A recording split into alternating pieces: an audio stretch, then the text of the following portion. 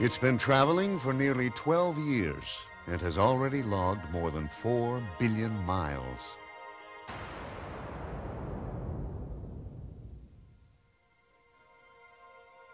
In its lifetime, it's been to places humans had once only dreamed about. And on August 24, 1989, at 9 p.m. Pacific Daylight Time, Voyager 2 will make history again.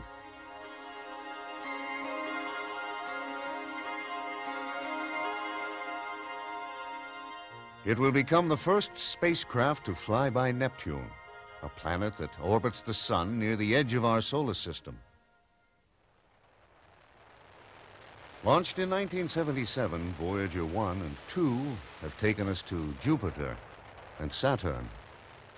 When Voyager 1 flew past the large moon Titan and behind Saturn's rings, its flight path was bent northward, and the spacecraft was sent out of the ecliptic plane and on toward interstellar space. Voyager 2 is on a flight path that takes advantage of a rare geometric positioning of the outer planets. Now, this allows Voyager 2 to use the gravity of the planets it's encountered to boost it from one to another without onboard propulsion.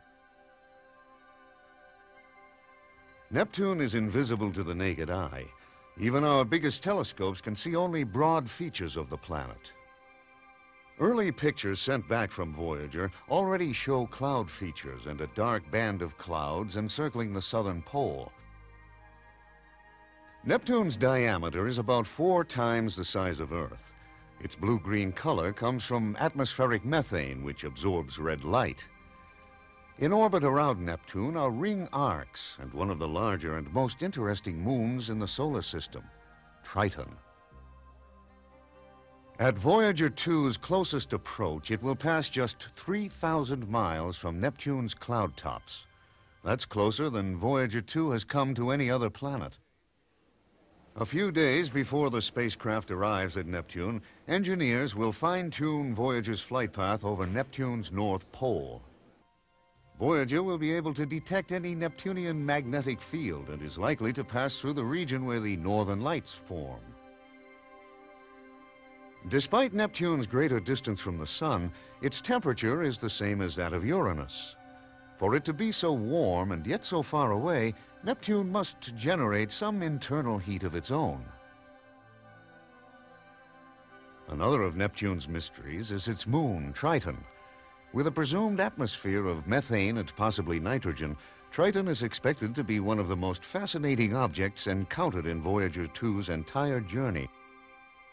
Because Neptune is so far away, radio data from Voyager traveling at the speed of light will take four hours and six minutes to reach Earth.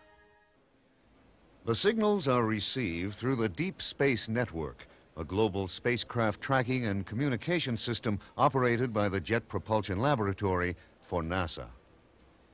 To provide continuous two-way contact with the spacecraft, DSN antenna stations are strategically located in California's Mojave Desert, near Madrid, Spain, and near Canberra, Australia.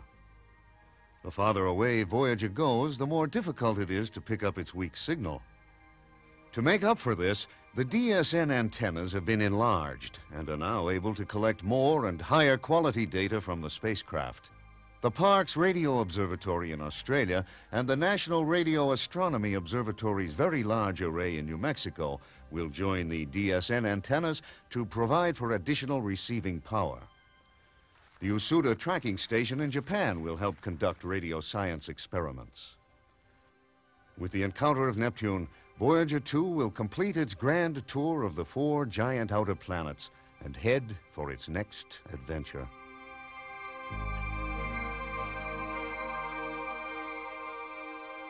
The spacecraft is expected to continue to send back valuable data well into the 21st century as Voyager 2 reaches for the edge of our solar system and enters interstellar space.